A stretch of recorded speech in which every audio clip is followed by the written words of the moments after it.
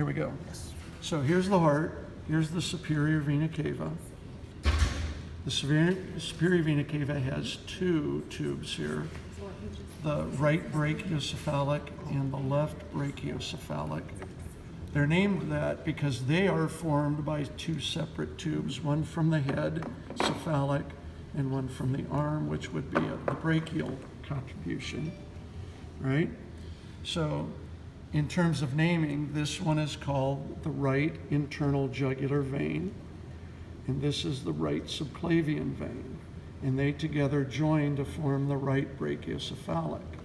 The same pattern is on the left, with left subclavian, left internal jugular forming the left brachiocephalic, and the two brachiocephalics forming the superior vena cava.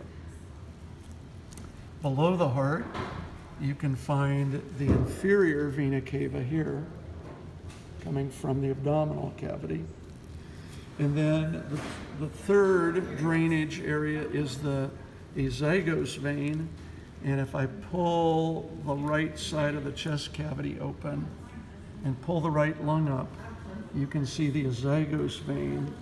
And you can even see right here these little posterior intercostal veins here, one for each rib space. So there's many, many, many posterior intercostals joining the azygos vein.